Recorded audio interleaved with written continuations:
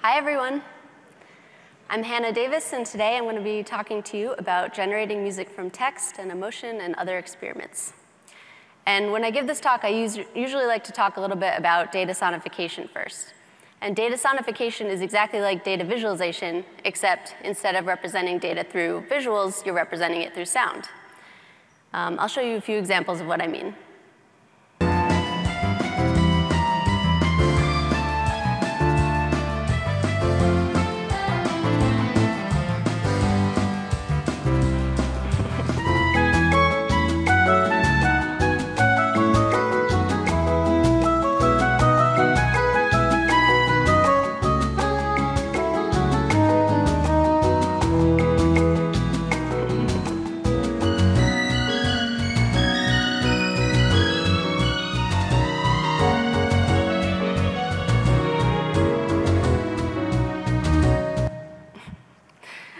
That's one of my favorites.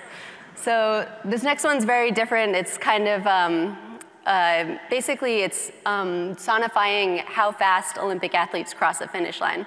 And I love this piece. This is by Amanda Cox, who's kind of a legend. Um, I love this piece because if you see this image, you can, you can see how fast they are, you know, how close they are together. But when you listen to it,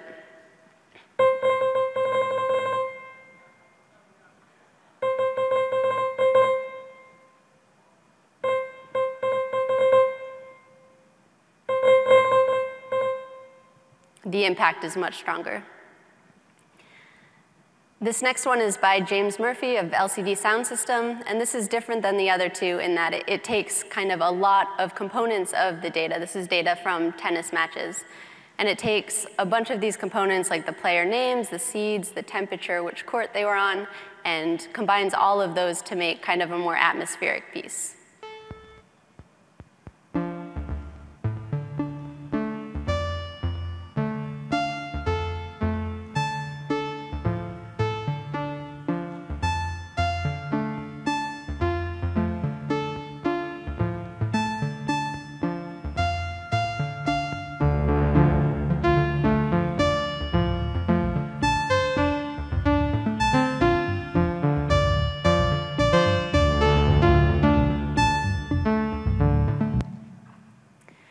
So there are a couple different types of data sonification. The first is audification, and when people get into this field, this is kind of where they start. Um, this is just directly converting data to sound, um, interpreting data as amplitude over time. Um, but what I'm more interested in and what I'll be talking about a little more today are these next two, which are parameter mapping, which is where you're mapping some value of the data to component of the sound, um, with the focus being on highlighting the data and then music generation, which is the same thing. You're mapping values of data to values of the sound, but the focus is not on conveying the data as much as it is about creating interesting music. And sound has a couple of strengths that visuals don't necessarily have. Um, it's temporal, it's multidimensional, it's really easy to find cycles and patterns and um, just finding structure in data. It's good for small units. It's good for streams of data and hearing changes in streams. Um, like the first stock exchange one we saw, it's good for grabbing attention and humor. And finally, it's, it's naturally emotional and it moves the listener. So before I continue with music, I want to just talk about my own background in emotional data. I first got interested in emotional data when I found this data set um, maybe five or six years ago called singularly, How Did the Candidates Make You Feel? And all this was was just asking voters how the presidential candidates made them feel. And when I was prototyping like a data visualization, no matter what I did, I couldn't convey what that um, question was really entailing.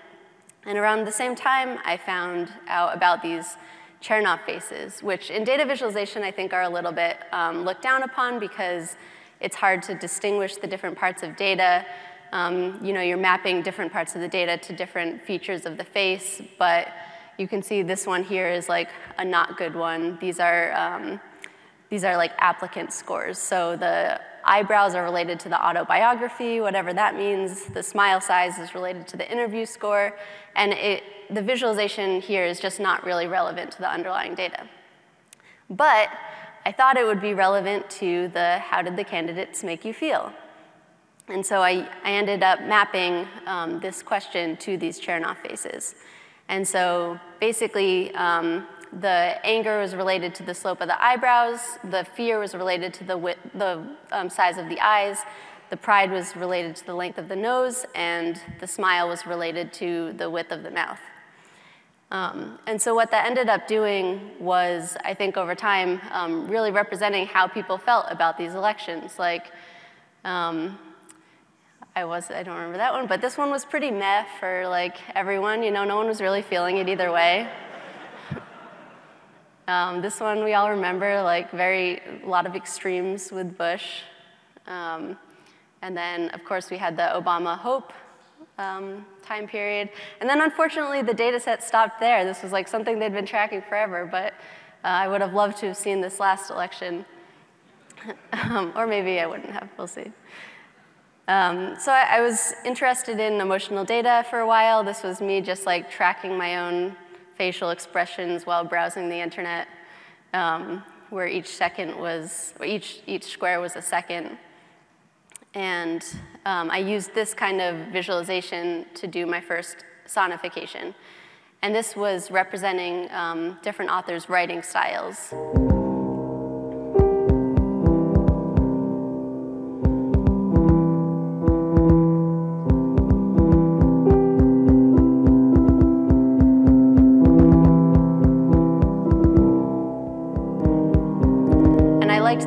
Lot because you really can hear the different writing styles come through. Like Hemingway has no descriptive words at all.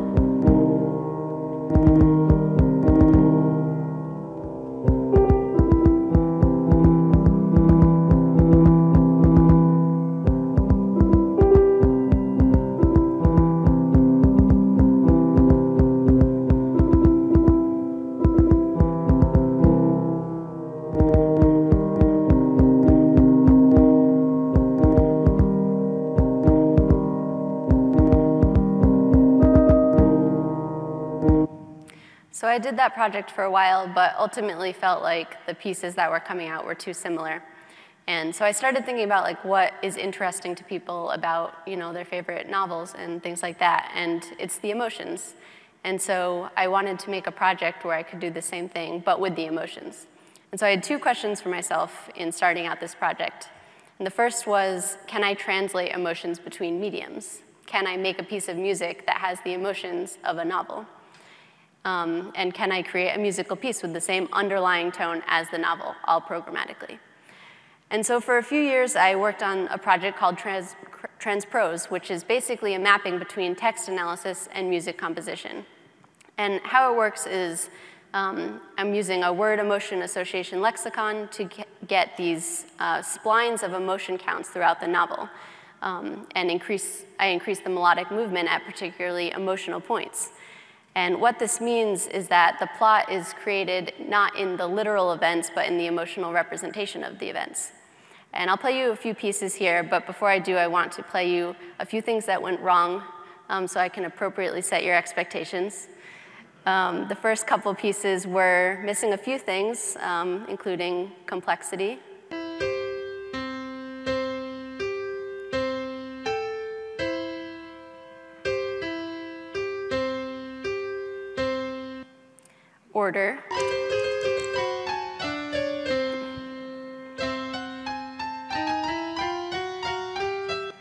And emotional accuracy. This is Heart of Darkness by Joseph Conrad.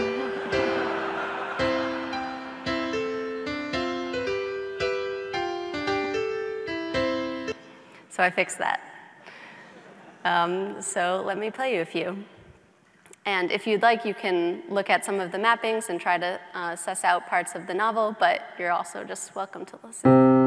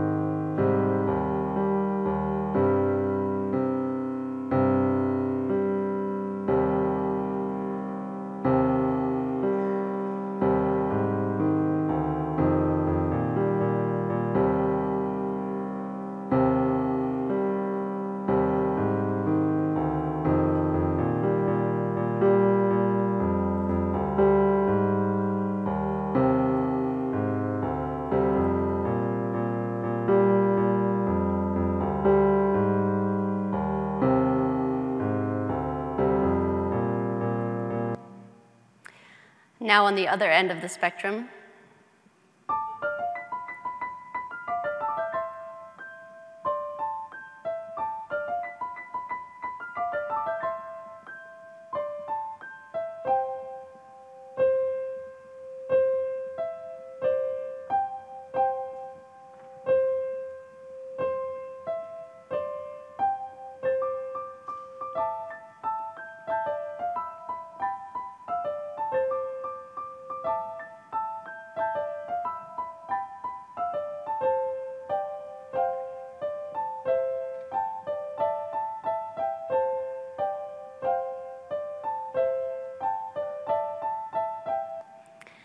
And then this next one is very different um, because the protagonist is doing really, really horrible things in a happy tone, and I think it's captured in the music.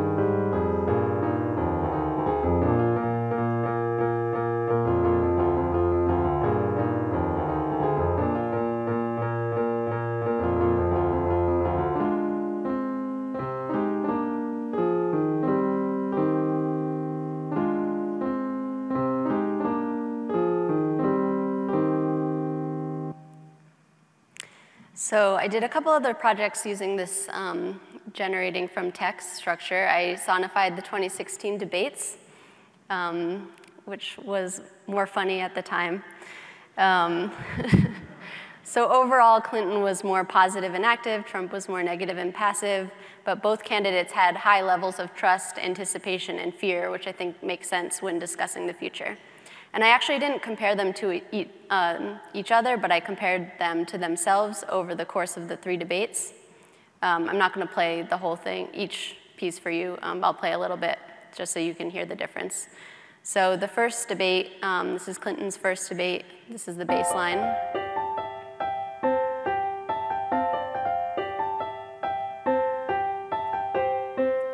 So on the second debate, her joy levels rose.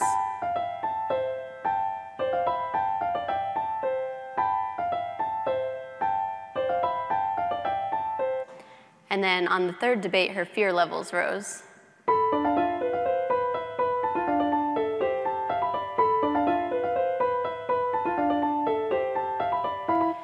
For Trump, here's his bass line.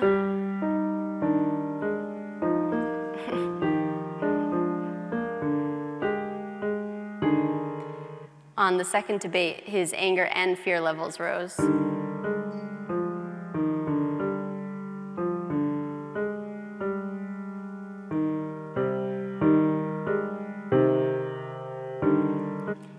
On the third debate, his anger levels rose above all other emotions.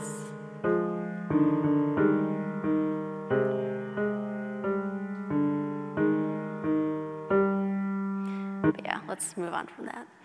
Um, so another thing I did was a piece called Symphonology with a uh, French composer, um, and this was kind of the first time I'd worked with a human composer, and so basically, I created a couple of um, pieces based on news articles talking about the rise of technology over time, and he fleshed those out into a full-scale orchestra.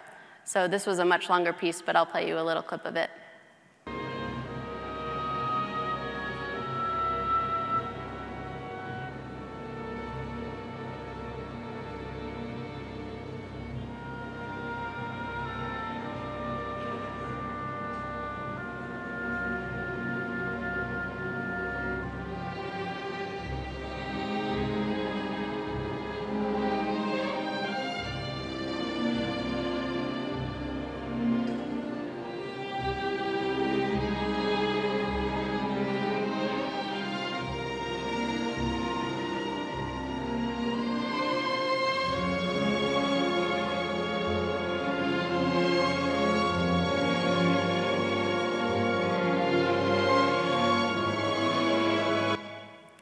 So after this, I um, decided to do a couple of pieces, sorry, a couple of pieces that weren't text-based.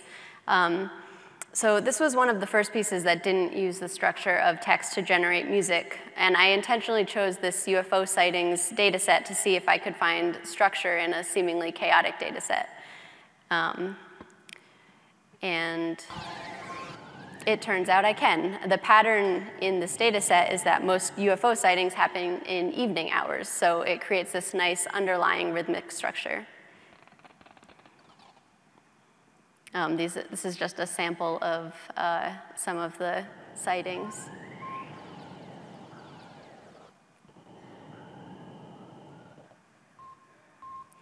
So this is based on samples, but I also wanted to do a more formal composition based on it. So um, this is that piece.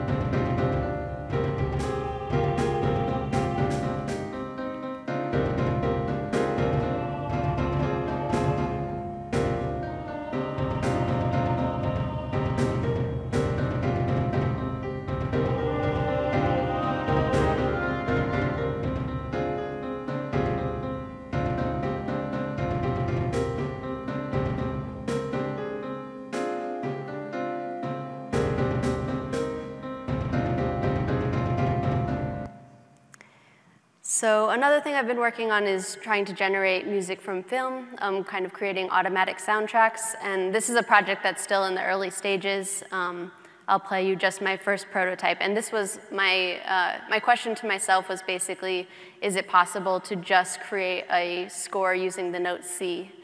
Um, so I'll show you the results of that.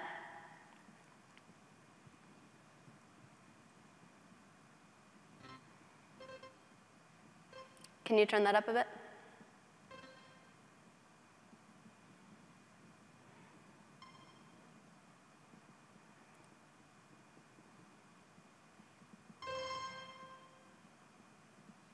So this is all programmatically generated based on the content of the video.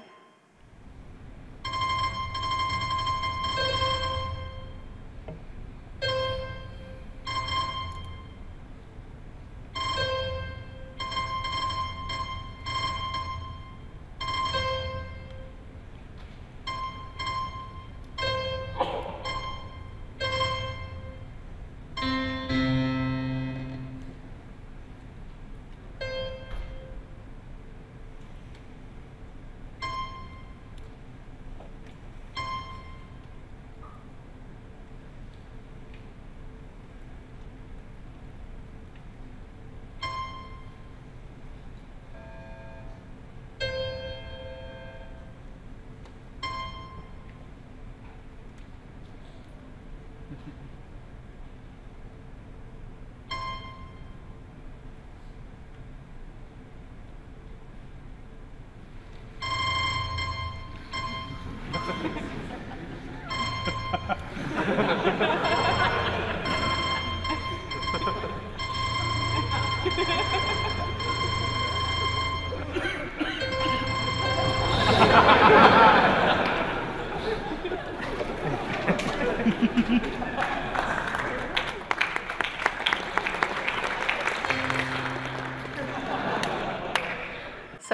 works better for some genres than others. Um, so one piece I did this spring that I loved was this piece called Fabbrica Alta, and this is a factory, one of Italy's like most well-known industrial factories um, that had kind of been abandoned, and more recently this um, Italian collective D20 kind of revived it and actually turned it into a musical instrument. Um, and so they've been commissioning like computer musicians to generate pieces for it. And what was cool about this project was they um, they gave me two sets of samples, one of sounds of the factory as it actually was when it was actually in use, um, you know, like the looms and people speaking and footsteps and things like that, and then another one of children pretending to be the factory. Um, so I used a little bit of machine learning with this. I used um, just like some basic clustering to kind of see where the natural or the, the older and newer sounds combined and use that to inform some of my decisions and I'll play you a little bit of this piece. So this was the simulator they provided.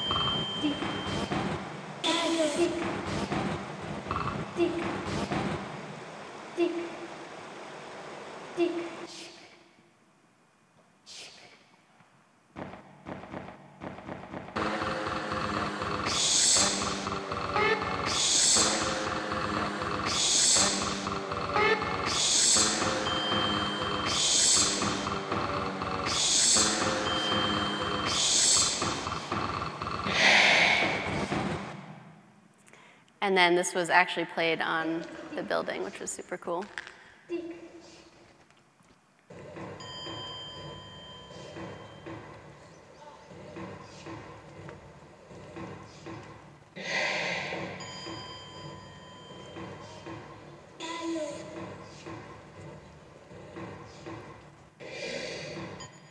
So I want to go back to the data for a second. Um, so as I mentioned with TransProse, I used this lexicon. And I used it for years without really examining it. And when I finally did, I saw this. And what this is implying is that the word childbirth, along with several others, um, was tagged with no emotions, which seemed weird. Um, so this got me really interested in the idea of subjective data.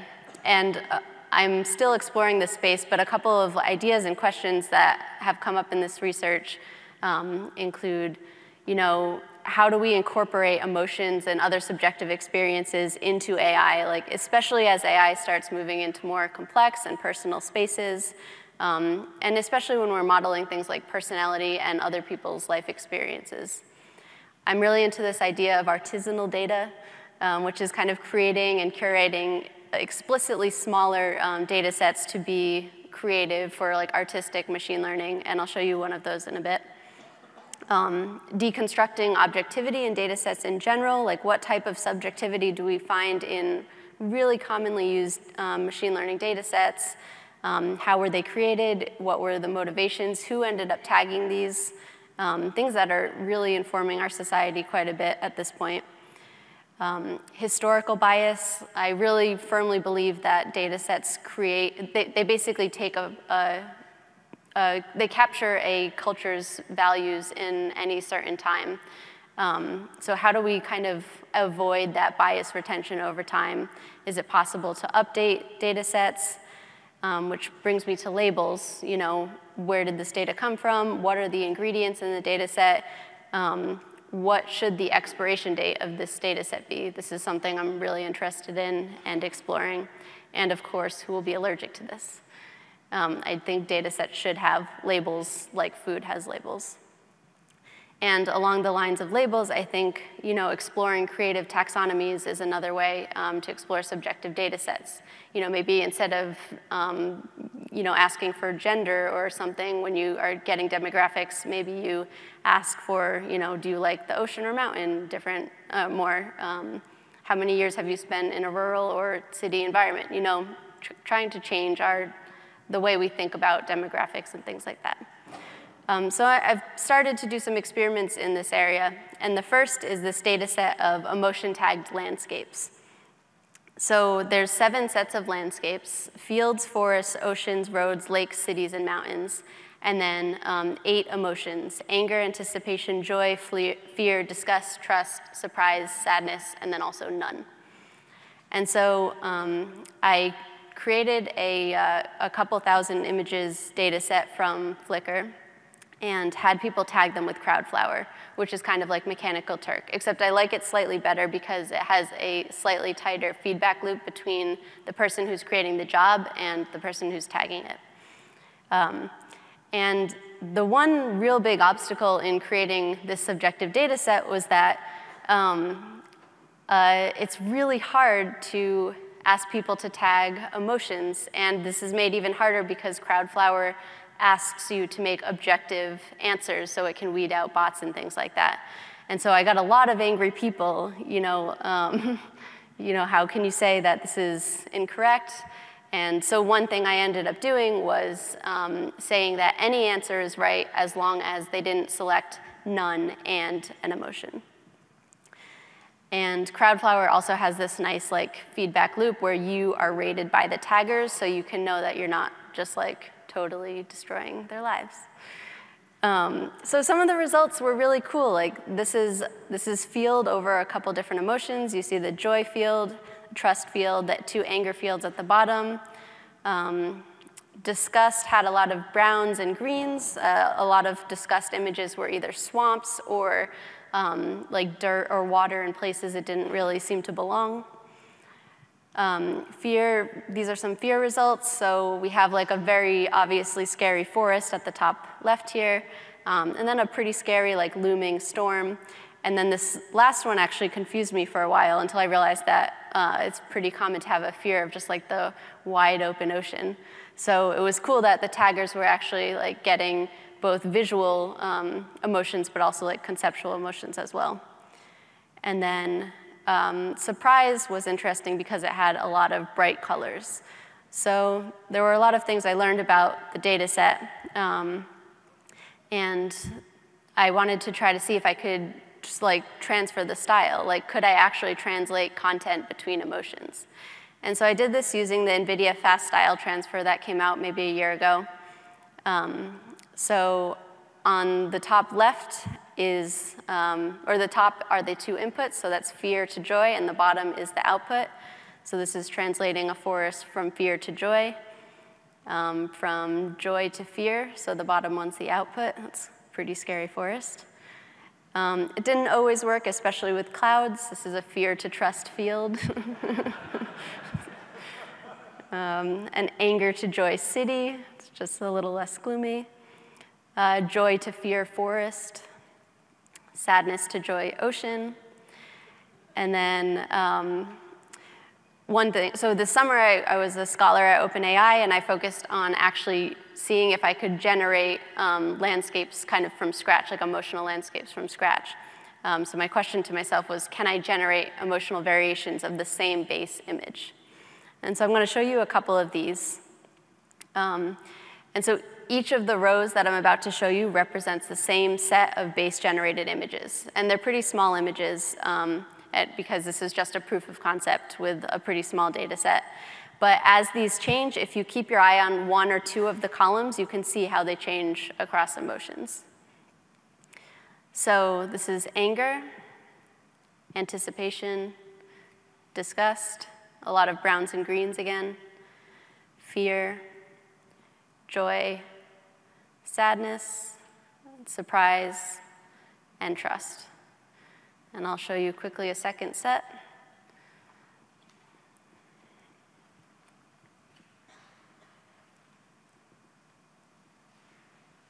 I also tried to generate specific landscapes. So these are generated mountains. Um, again, anger is very dark. Anticipation with mountains was actually um, not very bright discussed again a lot of browns and, and uh, greens. Sadness is a little muted, and then trust is kind of calm. And then I did the same thing for generated forests.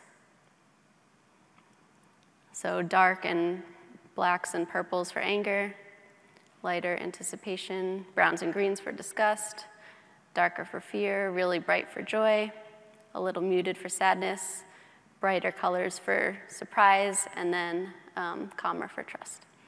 So that's it. Thank you.